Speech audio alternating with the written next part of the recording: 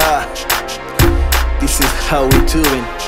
DC Inferno Squad, LV Productions. That's easy, boys. We made it.